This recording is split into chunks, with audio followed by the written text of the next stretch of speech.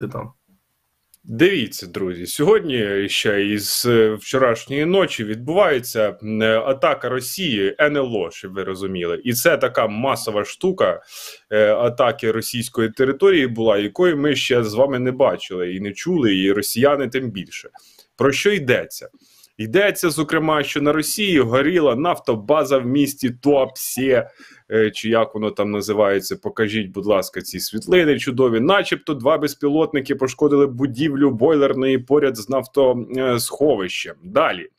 Нафтобаза у Туапсі, так званої Росії, від атаки безпілотників от зовсім не постраждала.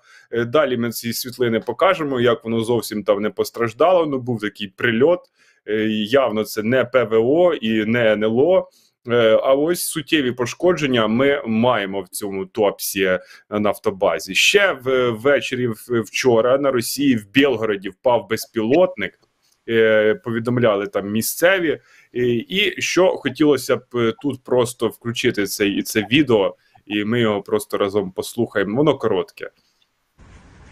Двор Садова, 28. Впав беспилотник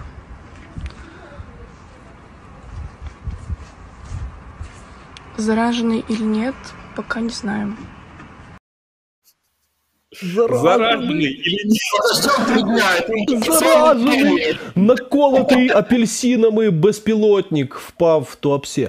Я коли чую цей акцент, мене звичайно починає вивертати. Знаєш, про те, що я сам російськомовний, я говорю з таким київським акцентом, абсолютно знаєш, нейтральним. Але коли я чую російську мову з російським акцентом, реально хочеться, я не знаю, щось Таке, про що не можна говорити в ефірі, щоб нас не забанили.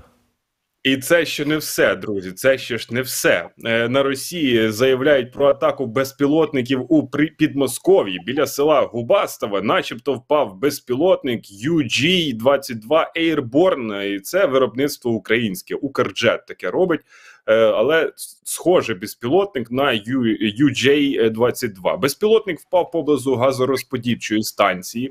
Ось такий дрон. Е, якщо це справді е, український дрон саме цієї модифікації, то він здатен летіти на 800 кілометрів і нести боєзаряд до 20 кг кілограмів. Е, ось таку маємо інформацію, і це ще не все. План кавьор там сьогодні був у Санкт-Петербурзі. Е, закривали 200 е, квадратних кілометрів повітряного простору та аеропорт Пулкова. Усе, начебто, через неопізнаний летальний об'єкт. Місцеві пропагандистські змі, так звані Росії, сповістили про те, що у повітрі над Санкт-Петербургом перебуває невідомий об'єкт та підняті винищувачі через це. І ще в місті подали сигнал кавьор. Його зазвичай застосовують при незаконному перетині кордону або появі НЛО. Пізніше на Росії заявили, що небо над Санкт-Петербургом закривали, начебто, через тренування взаємодії ПВО та цивільними органами управління повітряним простором. Е, а на 1 березня у Санкт-Петербургі анонсували тестування системи оповіщення повітряної небезпеки. Ем, якщо ви думали, Е, а, ну да, тут уже все. І ще на болотах дресирують своїх же ж росіян. У деяких регіонах пролунав сигнал повітряної тривоги по радіо та телебаченню. Е, І там повідомили ж про хакерську е, атаку. Ось все, е, всі внім... Е, немедленно в укритті. Е, ось так налякали е, росіянців. Е, друзі, ну план... такої. Вибач, Назаре, просто хочеться їм запу... як це побажати запустити план кавьор самольоту, знаєш, і ну на цих коврах своїх сивкових е, евакуюватися як найдалі. А про НЛО, е, по-моєму, ну расистам давно пора звикнути до нової абревіатури НЛУ неопо... неопізнана летальна Україна.